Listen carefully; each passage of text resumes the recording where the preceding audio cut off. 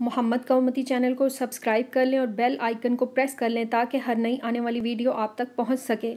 السلام علیکم ورحمۃ اللہ وبرکاتہ۔ محمد قومتی چینل کی طرف سے آج میں آپ کو جو حدیث سناؤں گی، اس کو سننے سے پہلے ایک بار نبی صلی اللہ علیہ وآلہ وسلم پر درود پاک پڑھ لیں۔ بسم اللہ الرحمن الرحیم۔ سیدنا جابر رضی اللہ تعالیٰ عنہ سے روایت ہے کہ رسول صلی اللہ علیہ وآلہ وسلم نے فرمایا، ابلیس اپنا تخت پانی پر رکھتا ہے، پھر اپنے لشکروں کو عالم میں فساد کرنے بھیجتا ہے۔ سو اس سے مرتبے میں زیادہ قریب وہ ہوتا ہے جو بڑا فساد ڈالے۔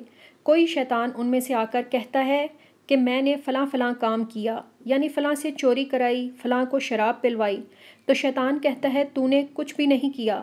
پھر کوئی آ کر کہتا ہے کہ میں نے فلاں کو نہ چھوڑا، یہاں تک کہ جدائی کرا دی اس میں اور اس کی جورو میں، تو اس کو اپنے پاس کر لیتا ہے کہ ہاں تو نے بڑا کام کیا ہے اور اس کو چمٹا لیتا ہے۔